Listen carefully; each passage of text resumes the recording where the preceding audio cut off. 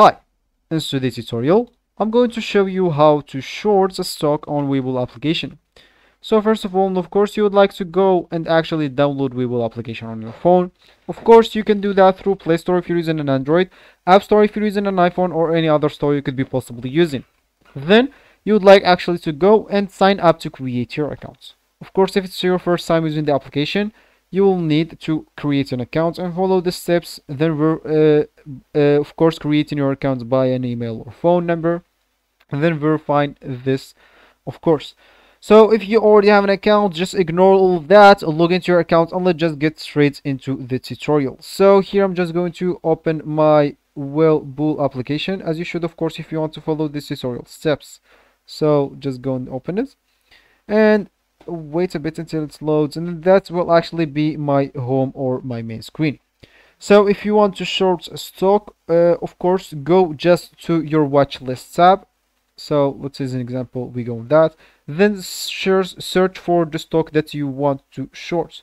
So of course i have here too if you of course if you want to add like a stock to your watch list you can find a video on how we did that in this channel. So let's say as an example we would like to short mm, this hoodie. So if you want to actually short this hoodie just check the blue downward arrow icon. If it's there you can short sell this stock.